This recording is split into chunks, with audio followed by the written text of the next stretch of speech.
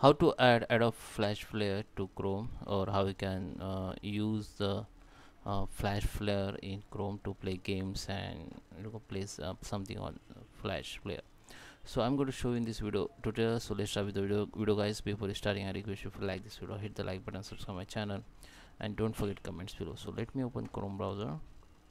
And if you go in setting so you can see the flash.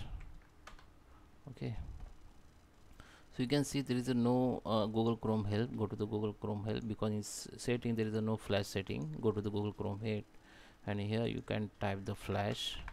So you can see flash player no longer available in google chrome because in adobe decide to end the support to you know play flash player plugin in google chrome uh, as on 2021 so it is complete one year now. So flash player not supported google chrome now but you can use the uh, the another option to play flash games and anything uh, which is playing chrome so flash player. Okay so what you need to do just open your browser and search your chrome extension. So here you have to use the extension. It is very useful. And you can type here search the flash player okay so the all chrome extension will become so you need to i use this one which is very useful flash playlist. Just you need to just add to the chrome. I have already added that's why it's show like remove from chrome. After that it will you can see this you have to pin it.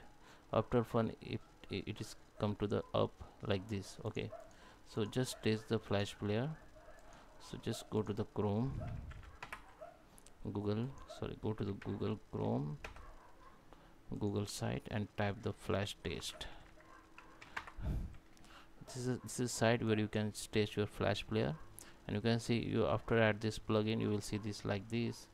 And just click on play then your all flash uh, supported file will become uh, play on new window. It will look like this okay so that is how you can add or enable flash player in outlook. Uh, google chrome i hope you like this video. Please subscribe. Me thank you for watching